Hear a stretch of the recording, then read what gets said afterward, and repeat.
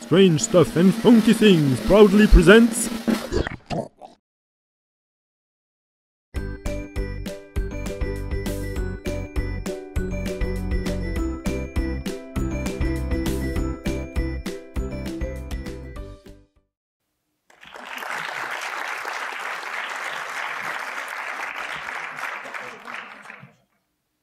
Bonjour tout le monde. Je vais parler de chat. Donc euh, moi je suis un vrai, je suis un hipster. Euh, j'étais là à Lyon Science 2015 et j'étais venu parler de Lyon. Et euh, cette année, pour Lyon Science 2016, je- dans un élan de même originalité, je vais vous parler de chats. Alors, je sais ce que vous pensez. Déjà, tout le monde a déjà parlé de chats. Est-ce qu'il reste quelque chose d'original à raconter sur eux?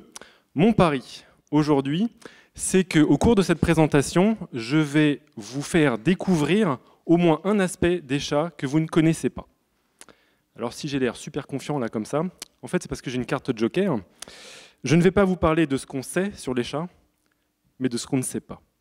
Je ne vais pas vous parler de science qui a déjà été faite sur les chats, mais de science qui reste à faire. En gros, je vais vous présenter deux hypothèses de mon cru sur les chats. Deux hypothèses pour lesquelles peu de données scientifiques sont disponibles, mais qui devraient quand même avoir le mérite de nous faire réfléchir sur ce qu'est que- véritablement qu'un chat. Parce qu'au final, un chat, c'est quoi? Bah, Un chat, euh, si on en croit notre euh, propre expérience, qui est de surfer sur Internet, un chat, c'est soit quelque chose de totalement mignon, soit quelque chose de complètement con, soit quelque chose de profondément, mais profondément chiant. Mais à bien y regarder, les chats, ce sont aussi de fantastiques prétextes pour disséquer les mécanismes de l'évolution, et notamment ceux qui se mettent en place lors de la domestication d'une espèce. Parce que, alors, ce qu'il faut comprendre, c'est que la domestication d'une espèce, c'est en gros ce qu'il se passe, grosso modo, avec de l'évolution normale, sauf que ce n'est pas euh, la nature qui est aux commandes, c'est les humains. Bon, alors, quand les humains sont aux commandes, généralement, ça peut donner des trucs assez chelous, comme par exemple, évidence num- number one, le, le chihuahua. Alors, pour comprendre un tout petit peu, il faut savoir, en faisant un résumé, mais vraiment drastique, un tout petit peu euh, euh, simpliste, l'évolution, ça tourne autour de trois concepts clés. La variation, la transmission et la sélection. En gros, on part de variations entre individus, variations qui sont transmises aux générations suivantes, suivant les euh, lois de l'hérédité, si hérédité il y a, c'est-à-dire si l'individu survit et s'il arrive à se reproduire. En gros, s'il est réussi à passer à travers le tamis de la sélection naturelle ou de la sélection artificielle. Par contre, ce qu'il faut avoir en tête, c'est que euh, ce qui se transmet héréditairement de génération en génération, ce ne sont pas que des variations. hein. tout ne change pas quand on se reproduit et soudainement deux chats ne vont pas donner des poireaux. hein. Généralement, ce qui se passe, c'est qu'on obtient un chat qui ressemble à ses parents. Et d'ailleurs, donc l'essentiel des caractéristiques de ce chat, ce sont des caractéristiques qui sont restées à l'état ancestral. Et malgré la succession des générations, en fait, ce qui se passe, c'est que une partie de ces caractéristiques peuvent rester totalement inaltérées et vont révéler le passé des espèces, donc notamment le, passé des chats. On appelle ça des euh, caractères ancestraux. Il peut s'agir de caractéristiques morphologiques, mais aussi des caractéristiques comportementales. Et là, on parlera d'instincts ancestraux. Ce qui m'amène à ma première magnifique hypothèse. Les chats domestiques ont conservé des capacités ancestrales de mimétisme agressif. Alors je sais ce que vous pensez, c'est tout aussi capillotracté qu'imbitable. En fait, ce que j'essaye de dire derrière euh, cette hypothèse, c'est que je pars d'une observation très simple et j'essaie de l'expliquer. Qu'est-ce que c'est que ce couinement ridicule Alors.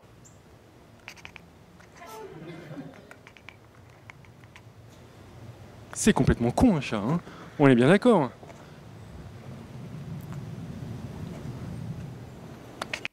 Ouais, voilà. Donc euh, un chat quand même qui euh, comme une souris, c'est un petit peu paradoxal, non hein c'est vraiment une preuve de la débilité des chats. Eh bien, peut-être pas. En effet, il y a quand même un constat qu'on peut réaliser ici, c'est que ce genre de couinements sont réalisés par les chats uniquement ou quasi uniquement quand ils sont en face d'oiseaux ou d'insectes qu'ils scrutent au loin. Eh bien, mon hypothèse, c'est que les chats imitent les oiseaux pour les attirer près du sol afin qu'ils soient plus près et plus faciles à attaquer.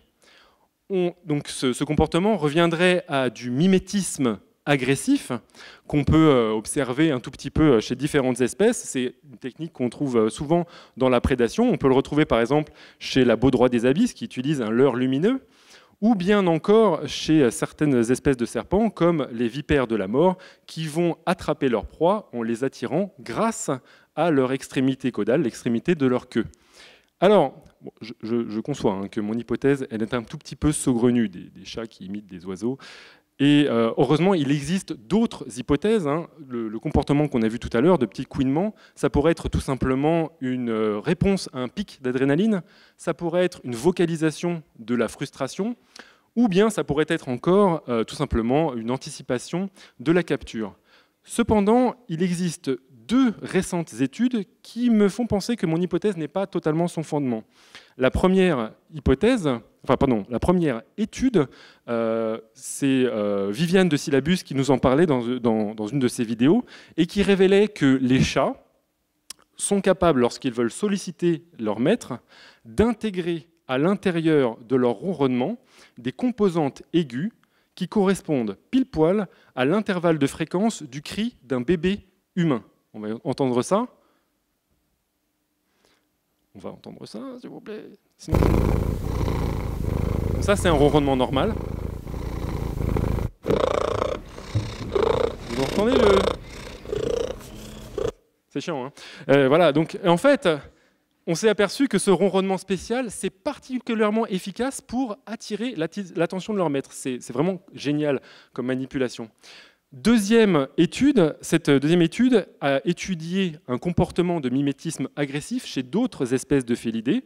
Et c'est une équipe euh, brésilienne notamment qui a observé que chez les marguets, un petit euh, félin euh, amazonien qu'on peut voir ici, on, on, a observé une imitation du tamarin bicolore afin que ceux-ci se présentent près du sol pour être plus facilement attaqués et interroger les populations locales ont même affirmé avoir déjà euh, assisté à de tels euh, comportements de mimétisme agressif chez d'autres espèces comme le puma, le jaguar ou l'oslo. Alors, si cette capacité d'imitation est déjà présente chez le chat domestique, et si on est capable quand même de voir déjà du mimétisme agressif chez le marguet, et chez d'autres félidés, est-ce que ça ne pourrait pas vouloir dire que le couinement ridicule des chats est en fait un vestige, un comportement ancestral de leur passé de chasseurs-imitateurs? Alors, on est entre scientifiques, là, on ne devrait pas s'arrêter là. Normalement, on devrait aller un tout petit peu plus loin, euh, essayer de tester nos hypothèses, mais comme euh, on m'a annoncé que j'avais que 15 minutes et que c'est un petit peu short pour pondre une thèse, on va passer directement à ma deuxième hypothèse, La présentation anale est un caractère néoténique destiné à l'amélioration du microbiome des chats. On va, décomposer, hein, je, vous, je, vous, rassure. On, va d'abord euh, comprendre qu'on doit quitter euh, le, concept tout simplement de, euh, de caractéristiques ancestrales pour s'intéresser dans cette deuxième hypothèse aux caractéristiques qui changent au cours de l'évolution. Et là, notamment, qui changent au cours de la domestication des chats. Et en fait, ce qui arrive, c'est que lors de la, domestication, la plupart des caractéristiques qui changent, généralement empruntent le mécanisme de la néoténie. Alors, la néoténie, qu'est-ce que c'est? Bah, C'est euh, une forme particulière de l'hétérochronisme, qui est un ralentissement ou l'absence d'acquisition de caractéristiques adultes chez une espèce. Ça veut dire que cette espèce conserve des caractéristiques à l'état larvaire ou juvénile. Ça peut être des caractéristiques morphologiques, comme on peut le voir par exemple chez l'axolotl, c'est cette magnifique bestiole qui ne se métamorphose pas pour se reproduire. Ça veut dire que donc elle va conserver des caractéristiques morphologiques larvaires, comme par exemple ces magnifiques petites branchies qui n'apparaissent pas normalement chez les salamandres adultes. On ne dirait pas comme ça, mais je suis très viril. Et puis euh, d'autres biologistes ont déjà euh, pensé que euh, certaines caractéristiques humaines pouvaient être pouvait relever de la néoténie. C'est par exemple le zoologiste Adolphe Neff qui, en 1926, avait vu un parallèle, par exemple, entre la morphologie des humains et celle des chimpanzés juvéniles. Alors, je sais plus ce que je voulais dire. Oui, le, euh, fameux, euh, la plus grande expérience qui a prouvé le rôle de la néoténie dans la domestication, ce sont les fameux renards de Dmitri Beliaev, qui a fait une expérience de domestication de renards sauvages de Sibérie. Donc euh, Dmitri Beliaev, un célèbre biologiste russe.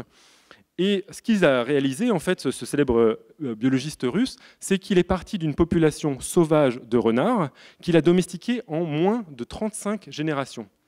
Et le seul critère de sélection qu'il utilisait pour choisir quels sont les renards qui allaient se reproduire entre eux, c'était s'ils n'étaient pas agressifs, l'absence d'agressivité.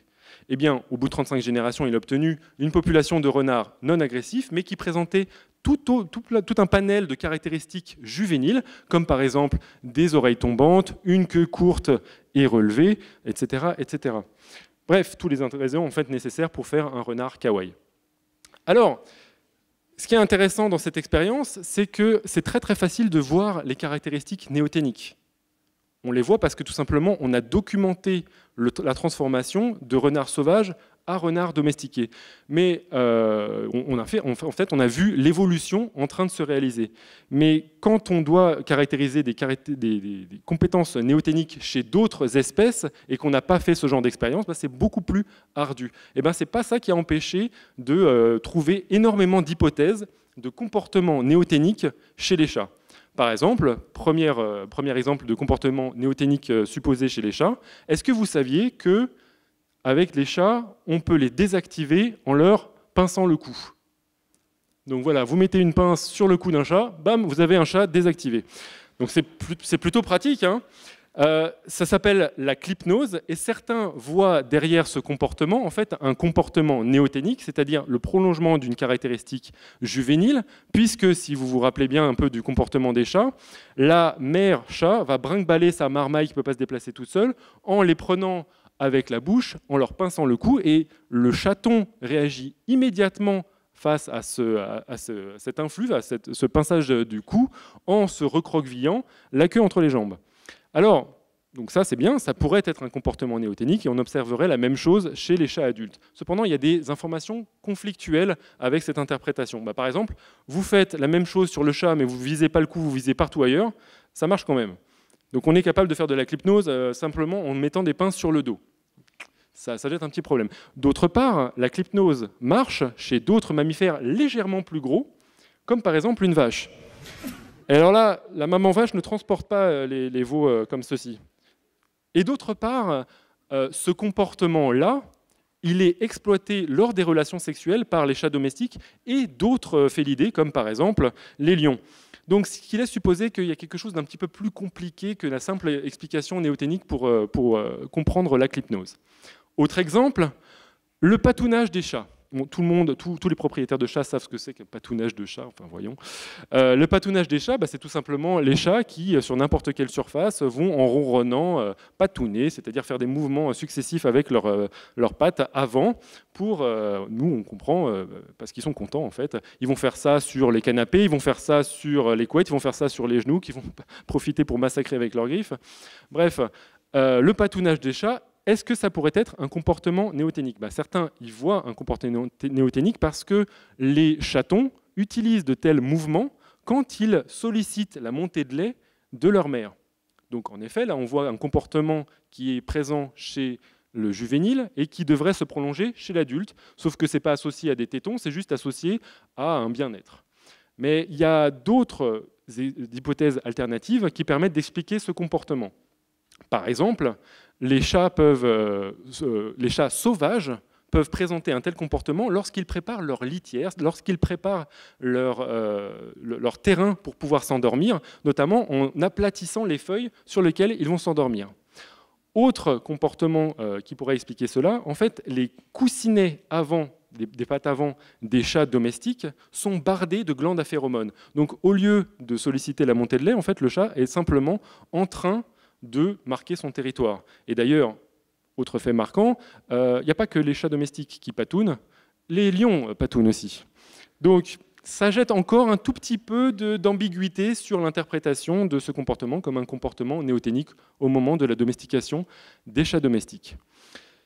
Du coup, vu que tout le monde se met à mettre des hypothèses de euh, néoténie, etc., bah, moi je choisis de mettre la mienne, hein. il n'y a pas de raison. Donc je mets la présentation anale. Qu'est-ce que ça veut dire? Bah, Tout simplement, j'essaie d'expliquer un comportement que mon chat fait souvent. Pourquoi? Mais pourquoi me présente-t-il si fièrement son anus? Alors, en quoi moi j'ai trouvé un lien avec un comportement néoténique Attention, là on va mettre de côté le côté kawaii, hein, parce que tout n'est pas mignon dans le chaton. Euh, sachant que les chatons réalisent une présentation anale face à leur mère. Pourquoi? Pour stimuler la défécation, parce que la mère va lécher l'anus du chaton pour stimuler la défécation, ou bien pour nettoyer euh, l'anus juste après la défécation. Donc, si on suit ma logique, et que c'est un comportement néoténique, et que notre chat adulte nous présente son anus, quel est le message qu'il essaye de nous faire passer? Lèche-moi l'anus? Vous voulez des hypothèses alternatives. Je sens que vous voulez des hypothèses alternatives. Bah, bien sûr, il y en a. Vous inquiétez pas. Ça peut être tout simplement une sollicitation pour une relation sexuelle. ou bien, ou bien, bon, si on trouve, il y a aussi le fait que bah, l'anus est bardé euh, de, de, glandes à phéromones, et donc tout simplement, on est en train de se reconnaître entre copains. Il nous invite à nous faire un give me five, sauf que chez les chats, c'est renifle-moi le fion. C'est pareil, finalement. Donc, Là, on a compris pourquoi c'était un comportement néoténique, mais j'ai laissé une autre partie de mon hypothèse, parce que, en fait, mon imagination scatologique n'a pas de limite. Parce que moi, quand mon chat me présente son anus, je ne m'arrête pas juste à trouver une hypothèse néoténique, je pense à une vidéo qui m'a un tout petit peu choqué, que je vous présente tout de suite, de cet éléphanto qui va goûter le contenu rectal de sa mère. Et alors, cette magnifique vidéo. C'est en boucle, c'est un gif animé, c'est ça qui est merveilleux. Donc, et je vais rester longtemps sur cette diapositive. Donc, l'hypothèse derrière ça, c'est que, en fait, ce comportement chez l'éléphanto, il est absolument pas aberrant. C'est quelque chose de crucial pour sa survie, puisque lui, il est en train de collecter des bactéries dans l'ampoule rectale de sa mère pour pouvoir ingérer de, manière plus efficace ces aliments. En effet, les bactéries maternelles sont beaucoup plus efficaces pour euh, puiser les nutriments de son alimentation. Et du coup, ce que réalise l'éléphanto, en fait, c'est une transplantation fécale, quelque chose qui existe d'ailleurs en tant que thérapie chez les humains. Et donc, bon, chez les éléphants, ça se passe comment? Bah, Ça se passe de l'anus de la mère vers la bouche de l'éléphanto. Moi, je ne vois pas pourquoi chez les chats, ça pourrait pas se passer de la bouche de la maman vers l'anus du chaton. Et du coup, on a la fin de mon hypothèse, c'est que ce comportement permet de euh, tout simplement euh, rendre les bactéries du chaton euh, en meilleur état. Donc, on a fini avec mes hypothèses un petit peu tirées de mon cul. On va passer maintenant juste à la conclusion pour vous rappeler que toutes ces hypothèses ne sont que des conjectures. Même si elles ont l'air vachement pertinentes, même si elles ont l'air vachement logiques, même si elles ont l'air supra cool, ce ne sont que des conjectures. Et il y a un travail monumental maintenant à réaliser de recherche scientifique, de euh, tests préliminaires, de recherche en laboratoire, de recherche dans le terrain pour essayer de valider cette hypothèse ou de la réfuter. Bah oui, parce que cette hypothèse, même si moi je la kiffe, elle peut être euh, réfutée et ça reste pourtant la beauté de la science. Parce que la beauté de la science, c'est qu'on va se poser des questions what the fuck. On va tout faire dans notre possible pour dire je ne dis pas de conneries, je ne dis pas de conneries, je ne dis pas de conneries. Si s'avère qu'on dit des conneries, c'est pas grave. Si s'avère qu'on n'a pas dit de conneries, c'est tant mieux. Le plus important, c'est de se poser des questions. Alors bien sûr, moi j'invite n'importe qui à faire ce travail sauf moi. Et moi, je suis juste content parce que je suis arrivé ici pour vous proposer toutes mes hypothèses strange and funky. Et je vous remercie.